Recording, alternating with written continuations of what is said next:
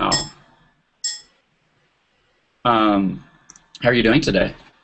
I'm good. I've um, not gotten a lot of sleep this week, so I'm a bit tired. But other than that, everything is going well. Oh, why why not why not so much sleep? You know, I just I have early morning classes this semester, and I'm never I'm just not a morning person. So even when I try to fall asleep early, I don't, and I just just end up being tired and kind of sluggish for the semester. I know which yeah, I just I just actually took a nap. I got I had to get up at least before before 8 at least 4 times this week, which is crazy. Yeah, that's rough for us artists. I don't know how people do it. I don't know either. I mean, it's I guess some people just gravitate towards the morning and some people gravitate towards the evening and I hear that if you're one way, it's really hard to change yourself. Yeah. So ideally, you know, when your work schedule can match up with your body rhythms, that's the best. Do you know if Lady Gaga has a song about that? About sleep? About well, whether you're a night person or a day person, and how you can't really change that. No, she doesn't, but she does have a song called Dance in the Dark. so Oh. maybe she's a night person. I think she's a jet lag person actually because she's always touring. yeah. I always wonder how like people do that, like politicians and Lady Gaga, because they always look pretty well rested, but they're constantly traveling. I have no Oh. idea. I mean, I think they probably take drugs, like Yeah. prescription sleeping medication, Uh, but I don't know. I couldn't handle it. yeah, that'd be intense. I'm, there must be a book. I bet there's strategy. There must be some kind of book, some help, some help book for how to like cross date lines and into different. Well, I do know you're supposed to do things like when you get there, you're not supposed to go to sleep. Um, Right. Even if you're tired and drink water and go out in the daylight and all of that sort of thing. But Right. probably just depends on how sensitive you are too. Some people are like machines. Yeah. Yeah, I'm not like a machine. No, you're like a guru. Oh. well, um. Oh wait, what's that? Oh, I just said I'm not a machine either. Yeah. Well, I never thought you were. I kind of look like one right now, but I'm not. But those glasses are incredible. I want to. I hope your students can see them on the. Like, I kind of like it because, like, okay, so when they're down, hmm so would you say that's Jesus on there? Yeah. And then when you kind of lift them up a little bit, well, a little bit down, then right, a little bit more, a little bit more down. Oh, right there. Oh, wait, a little bit up. So it goes from Jesus to a picture of me. cool. So, But that makes perfect sense. We've always thought you were Jesus anyway. Jesus is waving at the audience. awesome. Well, anyways. well, um, thanks for um, meeting up with me and my class. And Oh, sorry yeah. we weren't able to meet with you last week. But um, what I've done is uh, my Otis uh, class, which is called uh, Art, um, Education, and Activism in the Digital Age, we're doing a bunch of interviews with different artists and kind of collecting our documentation and putting it on our blog. And um, and so we're really excited about your work, and I had them generate a bunch of questions, um, and I thought I might just ask you some of their questions randomly. Do. Yeah. Okay. So I went to, I wrote them all down, and I went to random.org and and reorganized them. So Oh, cool. The first question is from Mike Connolly, and it's, "What is a mall witch?" What? That's funny because Mall Witch is my friend's project, not mine. Oh, So there's a poet, a New York poet, Ben Fama, who wrote a book called Mall Witch, and it's going to be coming out actually in a couple months. It's in a magazine format, and it is inspired by the internet. I'm on the cover of it, Oh, and there's some poems about me and other pictures of me in there. So I guess I am a mall witch. yeah. Wait, so does the title say Mall Witch up at the top and then it has a picture of you? Yeah. Oh, But I mean, that's only because I've been dubbed one by someone else, so I didn't think of that term Oh. or anything like that. But I think a mall witch is like, um, like the craft meets Clueless, uh huh. like a goth '90s witch. Um, Fairuza Balk meets Alicia Silverstone at the mall. Yeah. Is fused in one person. That That's sounds that sounds exciting. Yeah, I think so. I think you're a Mall Witch. That sounds that sounds like you, Thanks. right? Best of both worlds. Yeah, I think so. Okay. Or I wouldn't be on the cover. Yeah. Well, you know, maybe it can be kind of like you know, Barack got the uh, the Nobel Prize a few years ago and probably didn't really deserve it. So he said that you know it's something to work towards. It wasn't about the past; it was about the future. So maybe you can continue. you I like I like that idea. Yes. I will strive toward earning Yeah. my mall witch cred. Yeah, I think maybe may, may, maybe just need to get your Mall Witch MFA at this point or PhD, advanced degree. Yeah, you can get that at Claire's, I think, or um, the icing. Hot topic. Excellent. Um, well, so one of our students, Daniel French, wants to know if you have a. He wants to know about your performance work and whether you have a primary mission or two for your performance work. You can interpret that however you'd like. Primary mission.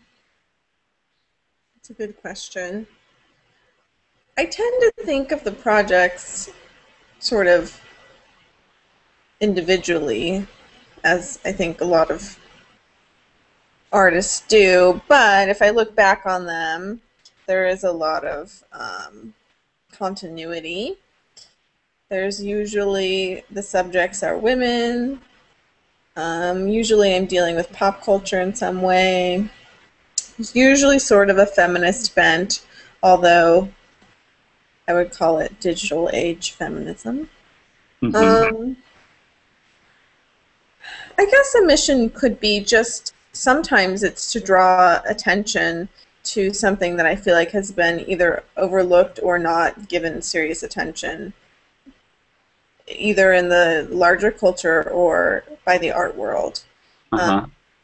So, for example, you know, the pile of panties, when I piled the panties on Sunset Boulevard. yeah, what was that? Yeah, what was that? All? What, uh, can you describe what what that was? What was happening?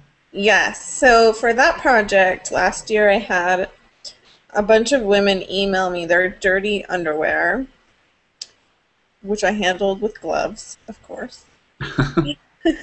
and um, I went down to Sunset Boulevard because this was for uh, the Los Angeles Road concert. So these were a series of performances curated by Steven Van Dyke Mhm. um, all along Sunset Boulevard. So a lot of different performance artists were doing work that day.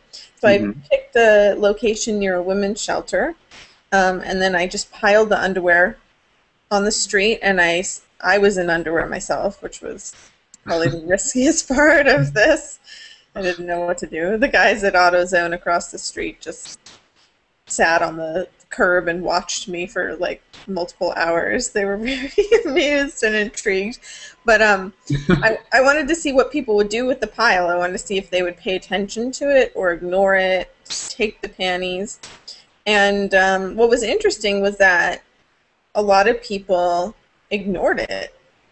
They would just barely mm-hmm. even looked at it as they walked past. And I know this is LA, so we're used to seeing any number of things on the street here. Yeah, I see uh, underwear all over the place. it was a, still a very disturbing sort of monument. So to have people ignore it, I think spoke to some of the larger cultural issues that the pile of panties could represent, having to do with discarded women, or even just you know Yeah. starlets in LA who've sort of been washed up, like Lindsay Lohan or whatever. That someone could so easily walk past something like that and be like, eh, whatever. And then Right. some lady came along and she like stole half the pile. She put it in her purse. Oh wait, who is this? Just some. A lady, yeah. she was wearing the exact opposite outfit of, as mine. It was except she wasn't in her underwear, but everything else looked just like me except in black, and I was in light colors, and it was very strange. Oh wow. Yes. And there's there's video of this, isn't there, online? yes on YouTube. If you can Google the pile of panties and Kate Durbin, and there is evidence of the panty theft. Well, that's fantastic. Yeah, I remember watching the uh, video of that afterwards. I didn't get to witness it in person from AutoZone, but um, but uh, the video that I saw was fantastic, and um, and uh, and part of it was, uh, uh, I mean, one of the things that was really fantastic about the video, like obviously there was the performance or the the whatever that happened, and you know, mo- most people who were looking for it um, may have discovered the panties, and it was just you know you you might not have been around when, or they might not have noticed you or something and would have been them kind of relating to the panties. But the great thing about the video is that you're shooting the video and and you're like it, it's like s- extremely voyeuristic we get to hear your commentary um, Yeah. watch. Yeah, it was very strange. I I really didn't know what was going to happen. I mean, that's the thing about performance, especially live performance or street performance. It's so da- like I shouldn't say dangerous, but it's just so uncontrolled in so many ways. So yeah and it's very much like a science experiment. What's gonna go down on the corner of Sunset with this pile of panties today? yeah totally uh, yeah it's a it's a it, yeah things could go really wrong or really right really quickly like and they did both. But yeah, I think you know that performance speaks to if I were to have a mission, um, that sort of impetus to see if people will pay attention to something or draw their attention to something that I think is neglected, but do it in a way that's artistic and um, you know just gives people an opportunity maybe to pay attention. It doesn't Uh-huh. necessarily force them to do it. Yeah. So that, that's super. Here's um another question from Andy Chau. Um, well, this maybe actually even re- uh, relates maybe a little bit to that example, but it, feel free to expand upon it in a different direction. He says, "I love how you said to me to be a woman, an artist, and to be free, the bitch has to trust herself, has to trust her art." And then he says, "Give me an example of a risk you took in your work." Mm. I'm like trying to think of one I didn't take now. that sounds vain or something, but I mean, obviously that was a good example that it was a little bit physically risky to run around sunset on my un- in my underwear. Um, what else? Do you feel like there's a sim like a what about risk on, on the internet, for instance? Um, Mm. Have you taken risks on the internet? Yeah, the internet's a good way to look at that. Um, well, I think with both my project Gaga Stigmata, which is an online journal about Lady Gaga that's going to be a book, and then this other project I have on Tumblr called Women as Objects, where I retumble um, the blog posts of teenage girls. I feel like with both of those projects, I took a very specific type of risk, which is that neither of those, like Lady Gaga, especially at the time several years ago when I started that project, people were not taking her seriously as um, an artist. hmm So for me to come out and say, okay, I'm, I'm taking what she's doing seriously, I think she's going to keep doing really important work over the course of you know the next several years, and I'm going to start this whole journal with this idea that we're going to write pop cultural criticism about what she's doing um, as fast as she does it, and we're going to be able to interact with her and maybe even change the shape of her project throughout the course of our project.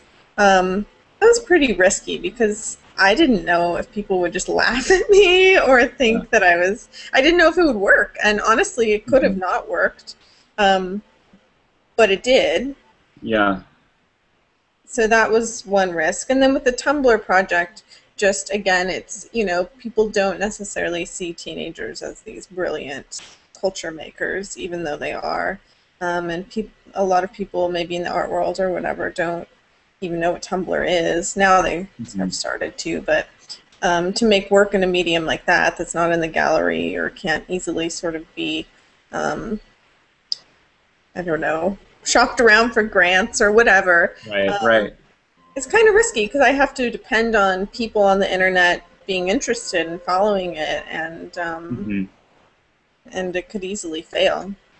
Yeah. No, that's interesting because that's like there's a uh, in identifying these risks, there are a bunch of different, you know, like with the with the panty pile, you know, the risk was like, you know, the you know, well, like you're in your underwear, uh, you know, guys. some weird some weirdo gonna come over or a police officer, you know, there's like you know the the the public, yeah. and then. But for that's interesting, like with the Gaga Stigmata, like the risk was specifically with your, I mean, with in a sense your art community, hmm and the and you know whether that would mark you know a possible end to opportunities within your community or a you know a certain like kind of I, I've definitely felt that sort of sense of like oh am I gonna like be banished from my community or not being taken seriously because of this this thing that I'm about to do um, Yeah. and it's, It's kind of terrifying because I, I feel like those are the only projects I'm ever interested in. And so sometimes, to be honest, I'm surprised that I'm included in the community at all. Like, I think it speaks to the community's, like, open-mindedness that, you know, people just have given me the benefit of the doubt. yeah well you make fantastic work so Well, thank you. Um, cool. Um, let's see. Another question. And you just let me know when you're tired of answering questions, and we'll, we don't have to go through all of them. I'll just projectile vomit on the screen. Oh, that would be fantastic. And we'll just fade to black. Okay. Um, so this question is for, from Fernanda Larriva. Question is, what do you think of Lady Gaga's Little Monsters? Um, and do you think of them as followers of Lady Gaga? What do you think about them being so obsessed with Lady Gaga? I don't know why that question makes me laugh. Um, well, I think I am a little monster, so hmm except I don't like. I've never liked that they were called little Right. monsters. Except quite recently, she said something like, "They're not little monsters anymore. You have to grow up sometime." So Uh-huh. she addressed my problem of not wanting to be little. Um, Have you actually written about that, or has anybody written about the the diminutive little monsters on Gaga Stigmata? no, Okay. No, I don't think anyone has. I think I mentioned it in an interview once, press interview, but um well, I do think of them as sort of a community on to themselves that revolves around Lady Gaga but is sort of a culture movement. hmm And I wish somebody would make a documentary on Little Monsters because I think it would be really fascinating. Hmm um, they are often, you know, sort of the misfits and freaks of society, and they've all sort of bonded together um, over her music and what she stands for. But what's interesting is, of course, she's so huge. It's not like, you know, I mean, she's a big pop star. It's not like she's sort of a cult figure or something like that. Mm-hmm. Um, but yeah, I mean, obviously, I share their obsession, so I can't judge the little monsters. But I would say, you know, any type of over obsession with anything can be Yeah. can be bad for no matter what it is. It could be cheese, string cheese. Yeah. I used to I used to be a little monster for string cheese. See, And these days Yeah. it's for, for coconut water. At least the last three or four days. Can't get enough. Well- you'll be ready for your desert island adventure when you get stranded. Yeah, well, I might be a little over it by then, but I guess I'll have to I'll be ready. One, one other question though about Little Monsters. I I haven't. I'm not. I'm not actually that familiar with Little Monsters, but I am familiar with the uh, like, for instance, the Juggalos, right? Who were um, who were kind of it sounds like pretty uh, had a similar situation with like the insane clown posse, Oh, okay. And and they actually call it like a religion, and they're you know and they have certain identifying features like you know kind of like clown painting and. Uh, and then online, there's lots of like mis, you know, misspelled kind of like text message kind of word. You know, it's like a and, and a certain kind of slang. Is there a certain Oh, cool. is there a similar kind of like um, aesthetic or fashion to being a a, a, a little monster? Like, can Oh, you yeah. pick one Well, out of this is- crowd? I can show you the define like this is how you show that you're a little monster. It's kind of like showing that you're a Trekkie. You Mhm. make um, the monster claw like this. Uh huh. So if you see another little monster and you do that, then you guys have identified each other. And this is Uh, from the Bad Romance video when Lady Gaga comes out of the, Oh wow. the latex coffin and she You, puts her you know, paw. you know what's so hilarious is uh, just literally just a week ago, someone was telling me that their friend, like to discipline their dog, like if the dog is like uh, freaking out or doing something that they shouldn't be they don't like you know spank it or grab its snout or anything like that. They go they just look at the dog and they go Oh my god. and the dog responds to that. And Maybe the dog's a little monster. right. The dog's just trying to sing along sing lady gaga lyrics All Well, there are definitely some other defining attributes too. I mean, a lot of their fashion is very similar to hers. right Um, so they, you know, look like little mini Lady Gagas. uh-huh but that's interesting because like when i think of lady gaga in fashion i feel like uh, i feel like i'm not going to recognize her the next time i see her because it's always like the thing that is consistent is the almost inconsistency of her fashion um, Yeah, I mean, she does have some defining uh-huh sort of um, styles. Like she always wears the huge shoes with no heel, hmm um, the sort of like Marilyn Manson shoes. right Uh, wears a lot of black, like bondage type hmm clothing.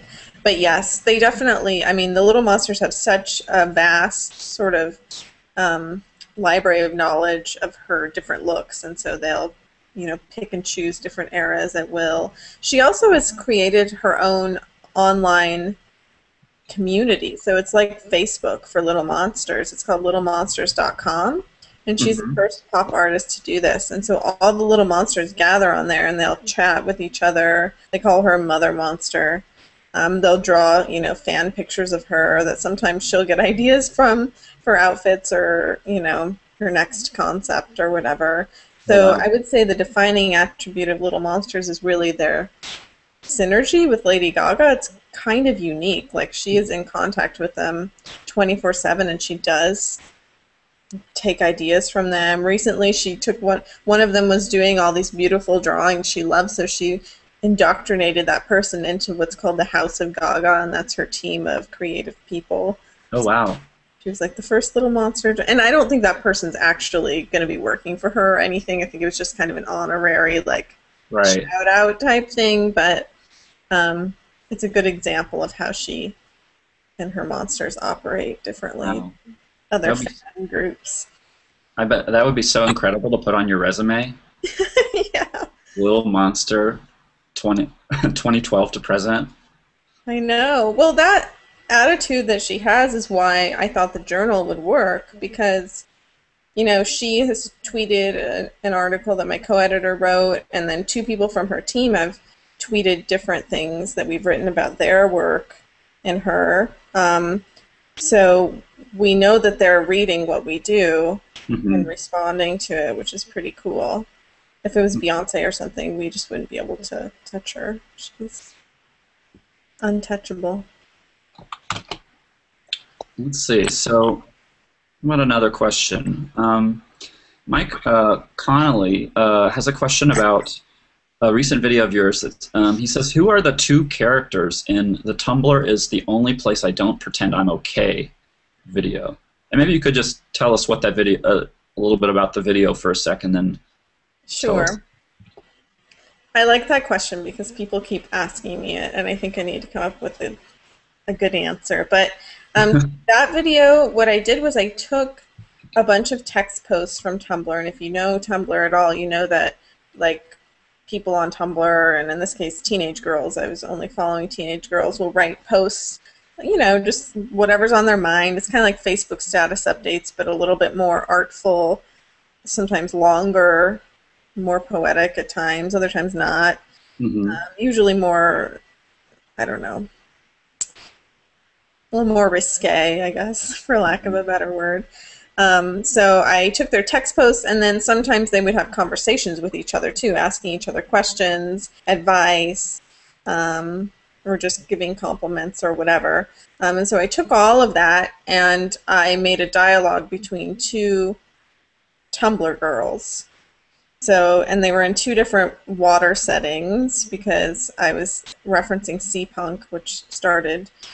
I didn't start solely on the internet, but that was sort of the internet and Tumblr what made Sea Punk really take off. Uh-huh. Um, and I also sort of see Tumblr like water or like a moving stream because it's always moving. oh wow. Oh right, that makes sense. Yeah, so I had the two girls in dialogue. So I don't have names for them or anything like that, but I really was just trying to embody Tumblr girls. And I was also thinking when I, you know, I wore this like strange turban and I wore stickers on my face and, you know, my lime crime lipstick like this one.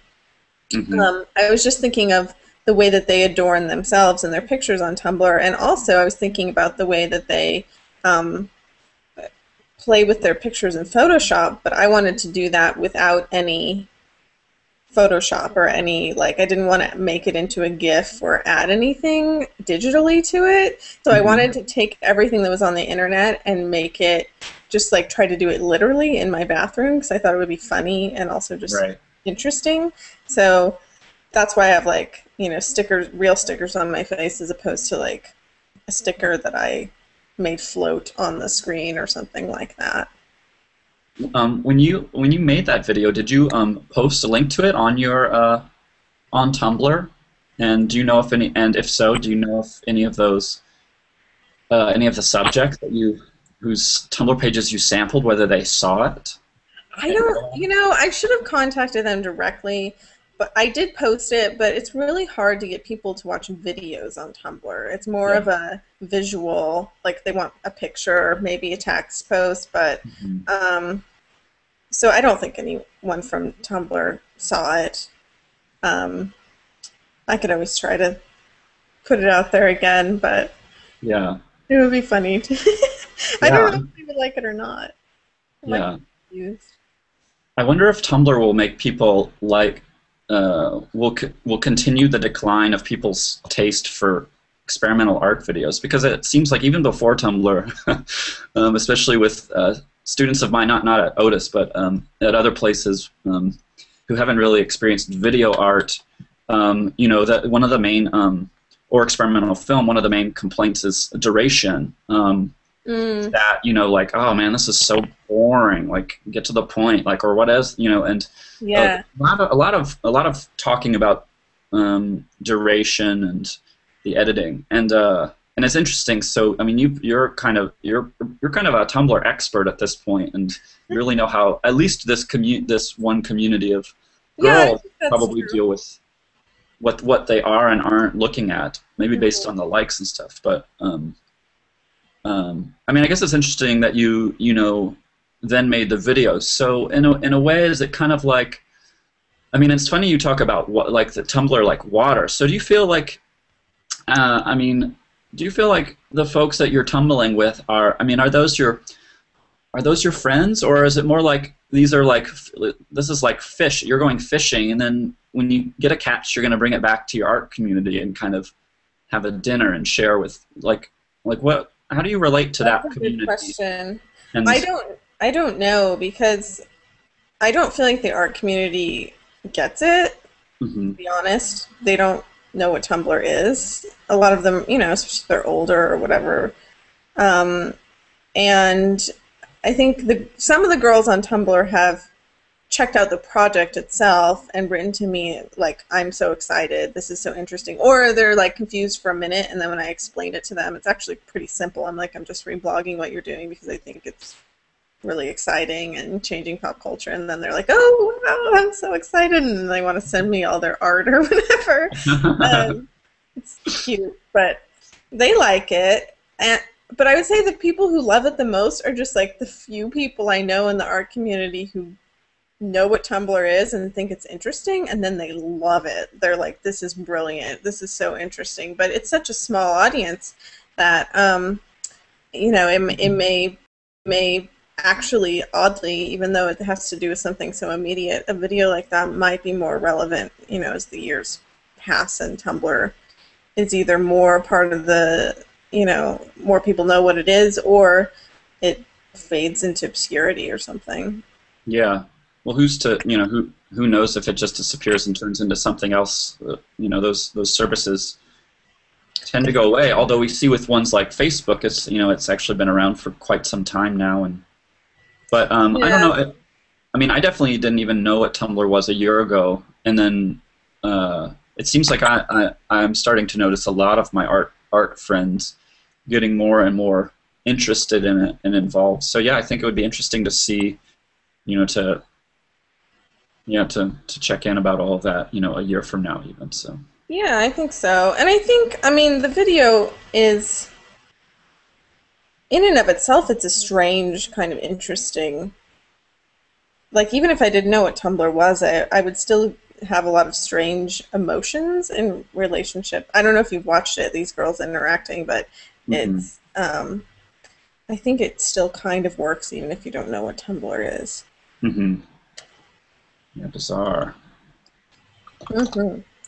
Um, oh, I wanted to say something about duration though, because oh yeah, duration. What's interesting is yes, like attention spans are much shorter, but there's the you know there's this girl on Tumblr, Molly Soda. She's like Tumblr famous. they call it. What's her name again? Her name's Molly Soda, and uh-huh. she makes these videos on Tumblr I mean, she was one of my inspirations for being interested in Tumblr. Like, I would love to do more work with Molly. Um, mm-hmm. She'll make two-hour-long videos where she answers people's questions. Mm-hmm. Two hours straight from her Ask box.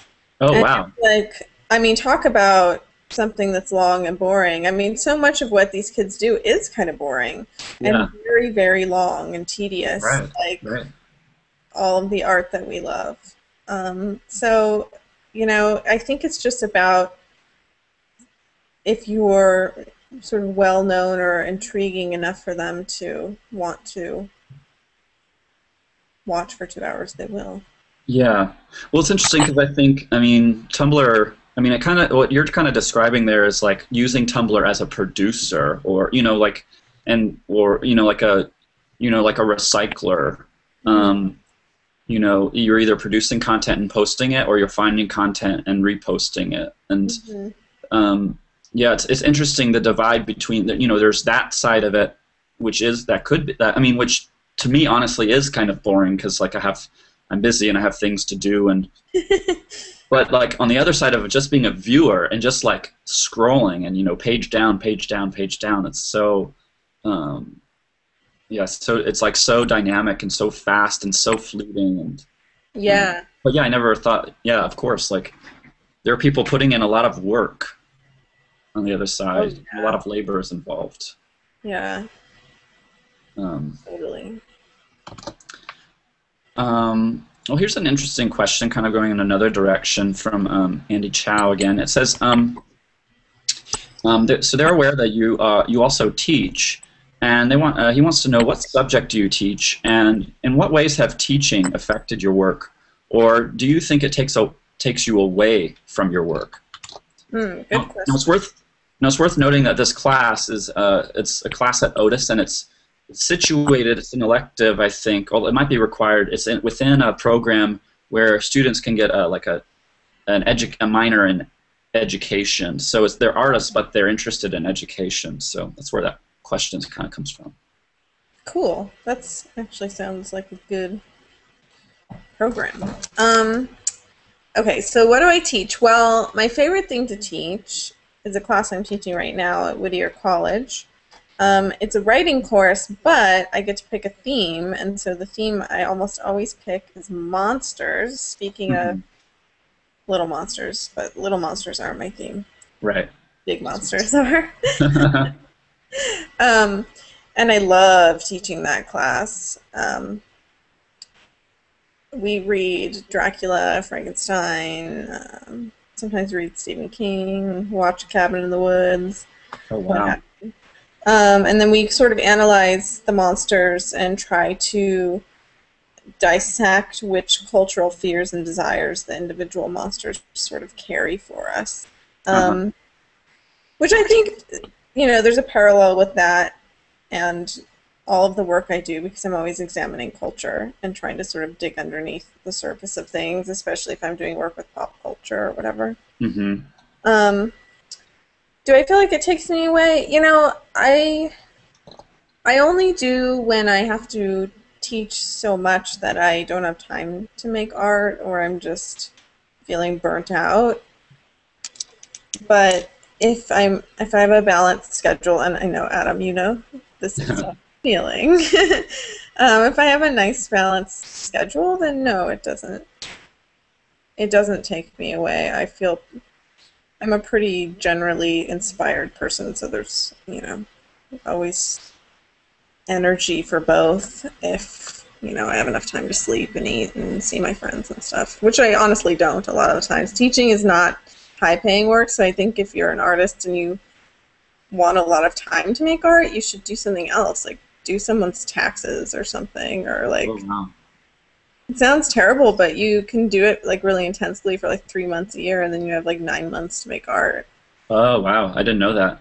Yeah. I always thought that if you were doing like taxes and stuff, it was like year round, and then you were just kind of miserable, like nine to five all year round or something, or maybe. No, because it's just during tax season. Most people want to get their taxes done. Wow. That sounds amazing. I didn't realize that. See, I thought I, thought I had it good as a teacher. well, I, don't. uh. I don't know. I don't think. I mean, I love teaching. That's why I do it. But I don't think it's that good of a gig if you're not doing it full time in terms of trying to make art and teach because you have to teach so many classes that you're teaching you're working like more than full time at least that's how it's been for me yeah yeah it always when whenever when when i've talked to you about your teaching it seems like it seems crazy like and, and i know other people who are doing that too who have you know are teaching like five or six classes yeah several places and aren't you know full time at any of them and yeah I somehow kind of skate by. I just kind of barely skate by with a handful of classes. Um, That's good. Well, I also teach writing. Yeah. So it's a lot of grading. Right. If you teach something else, you don't have to grade and as much. That's yeah. grade a little bit, but um, you know, and I've I always take it seriously. That's maybe part of my problem, but yeah, that's, like, that's, it's very I dangerous. do that with everything. I do with my art, with my writing. I mean, my teaching, whatever. But well, it's fantastic. Do you find that the students are really get like uh, really interested and engaged with this idea of monsters? And oh yeah, they love it. They love um, it. What what what is? They don't, but usually they're they're intrigued. Yeah, and it sounds like you're you know you're not just. Intri- I mean, there's lots of monster movies these days, but it sounds like you're dealing with like monster texts from a from a while ago um, that kind of define the the genre. What's what you know what's what's what's con- what do you find is consi- like what's the consistent is it like you mentioned just uh, social like is it mostly just ho- highlighting social fears and anxiety for them you know um, well it's a freshman course so i try i think it takes them a good half to three fourths of the semester to really even understand how to do that how to take a monster put it in its cultural context. So say dracula we're working on now. He's a great one to start with because you know he that novel in addition to just being brilliantly beautifully written you can read it just as pure horror it's fun scary but it's such a social commentary at the same time if you start mm-hmm. to apply different lenses like the psychoanalytic lens or the post-colonial lens or you know whatever so dracula really is victorian england's monster and he so all these fears about you know women's sexual freedom are so you know embedded in that text and um, their fear of like racial mixing and their desire to colonize the world all of that is there and it's so rich um, that it's a good text to start with because you can examine that culture, which people have, you know, because they've seen movies and stuff. They know a little bit about the Victorians. Um, mm-hmm. And then once they do that, they're usually more prepared to, say, analyze our culture. If we look at Twilight or something, we can start right. to analyze females in the United States now, what their desires are, and um, something like that. Quick, uh, quick question. Uh, uh do, uh, do do any of your do you know if any of your students um, who come to your class, your classes at various places, do you know if any of them like know you uh, outside of just being a teacher? Like, do they know your any of them already know your public persona or your uh, on Facebook or on Tumblr, or are, are they already aware of some of the projects you're involved with? And you know, I don't I don't think any of them know before they come to class. Mm-hmm. But then they always add me on Facebook. And then, like, I usually what I've noticed is that they will they will like me. they will add me on Facebook and then they'll like love me. They're like, wow, my teacher's wild. Um, but no, they don't usually know. I think if I taught at a class, you know, and hopefully down the line, if I teach somewhere where it's, you know, if I taught at somewhere like CalArts or something, and I was teaching very directly within my field, um, and maybe upper level or something, then the students might know. But since this is college freshmen, it's a little bit different. Yeah, they don't realize who they're dealing with. yeah they don't know how Tumblr famous I am. um, well, uh, maybe... I tell them though at the beginning of the class, I'm like, I've written these books and I've done all this stuff, and they just smile. Yeah, well, it's, it's interesting. Like, uh, you know, I know a lot of other artists who are very, um, who do a lot of weird performance stuff. Who, um, and some of them are really comfortable with uh, letting their students know who they are outside of the class, and then other ones who, you know, like so I know some people who even have a different name, uh, oh, wow. who go by a different name in, in, in, class so that they're not getting Googled um, while they're in class and having, you know, nude performance art pictures sure. pulled up. And I and I know that sort of um, that sort of sensation. I, there were a number of years where I was very quiet about who I was in the classroom, partly because I was afraid. Um, to get fired or you know or you know partly because I didn't know the sub this well partly because I didn't really know what the subject material is you know yeah. like it was at a, you know a trade school where they're like you know you're supposed to be like a professional mm. in the field and um but you know there was a certain point where I kind of felt like it was important to acknowledge who I was you know well mainly that I was an artist just so that these students who were not necessarily artists like could just see what a what an artist looks like to realize that they exist yeah. and um, and it but it, it, it was really it was a weird it felt weird. It was really like coming out of the closet and kind of acknowledging that like I have a whole life that that that exists like in the public realm. Yeah. Um, and so that so that leads into maybe one of our last questions um, uh, that I actually wrote. So I and I I kind of want to know like you know so you're a very public person and are involved with examining it and uh, both examining the public and private lives of celebrities and, teenagers and kind of examining it. Um, but where in in your life do you draw the line, if at all, in terms of what is like public and what is private? Hmm, that's a good question. I feel like I'm quite private about my personal life. Mm-hmm. Um, it's funny because you know I'll post like crazy on Facebook and I now on Twitter I'll retweet all these celebrity tweets all the time. Mm-hmm. Um, and so yeah, you're right. I'm I'm very public in my my work, and I'm engaged with the public 24 seven. Mm-hmm. Um, but I don't.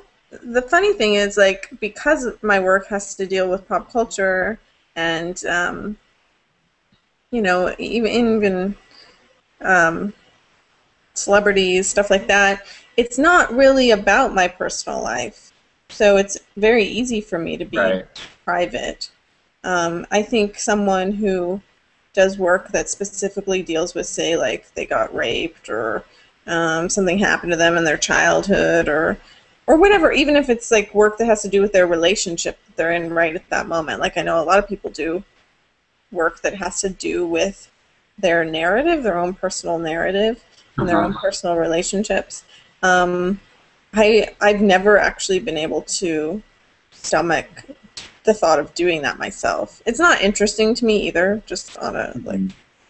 conceptual or intellectual level, but um, and I I like that work when other people do it, but I'm not interested in it. So I'm yeah, I managed to stay pretty private behind my Jesus shades.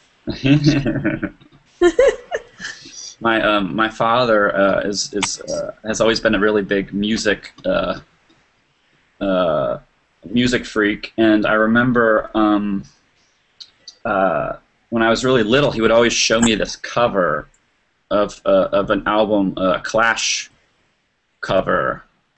And uh, I think it was Clash, and he and he showed it to me, and it was like he held it up, and it was like I think the lead singer or lead player or something had these glasses on, and he was like, "Look at this guy! He's fucking amazing! He's got his glasses on, and he's like, he's not gonna let you in, you know." And uh, and it was it was like a very um, it was a very um interesting kind of uh thing Your to be dad said this?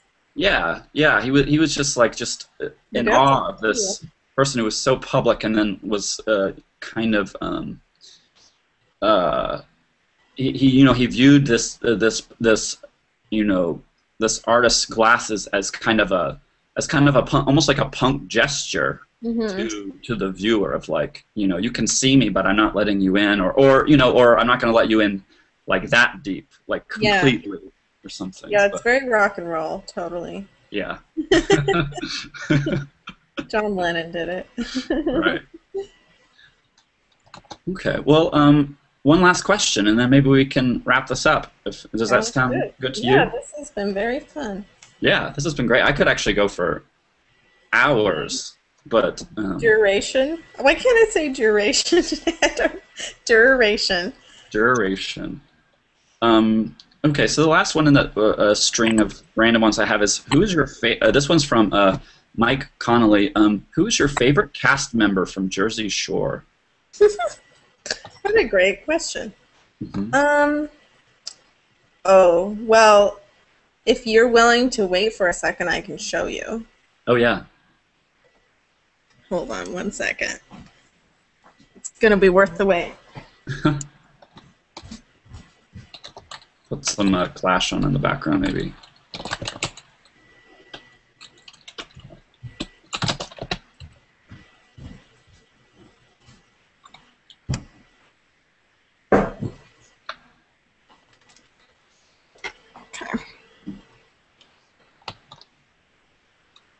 So this, you can see, Oh wait. It's, uh, oh, wild.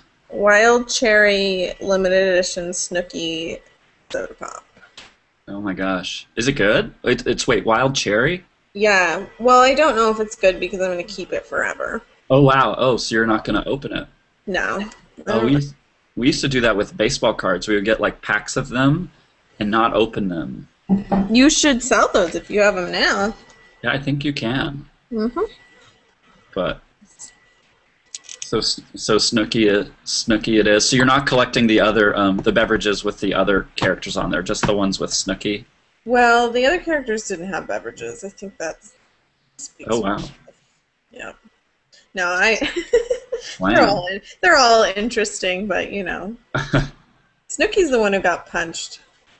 Whoa. Man in a bar, and uh, You mean outside? Uh, wait, I, I don't really follow that show. Did that happen in the show or? Uh, yeah, it happened in the show. She was uh, up in someone's face. This was first season, I think. Um, she was up in someone's face and in a bar, and this man, and she's like a tiny person, and this big burly man just clocked her Wow. all over the news. Has MTV gone too far? Has reality TV gone too far? And so that was the moment. That was the wild cherry moment. Mm-hmm. Yep. Poor Snooks. Well, um, well, thanks so much, Kate, for joining us and uh, answering all my fun students' questions. They sound Um, very smart, and fun. Those students of yours. Yeah, it's a rad it's a rad rad time with them. So, anyways, we'll to have you. Aw, thank you. Well, we'll be we'll be having a whole Tumblr uh, section later on in the semester, and we'll be trolling trolling around your site even Oh, more. great. Um, Good. so, so stay tuned. I will. But all right, well, I'm gonna say goodbye now to our studio audience, unless you have anything else to add. I do not. Okay. I think Snooki said it all. Thank you, Snooki. Bye. All right.